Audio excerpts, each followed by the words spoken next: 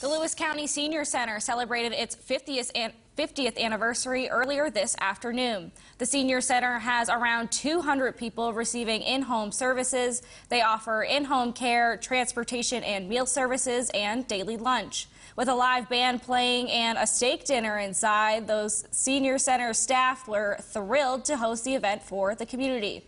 They have not been able to do much recently in light of the pandemic. We want the community to know that we are here. We've been here for 50 years as a part of the community, um, and we hope to continue to be a part of the community and support services for our seniors in Lewis County for the next 50 years. We really enjoy having people around, and we're trying to do that in a safe um, way by offering, you know, the outside and, and distancing everyone. You can check out the live music from today and learn more about the Senior Center on WBOY.com.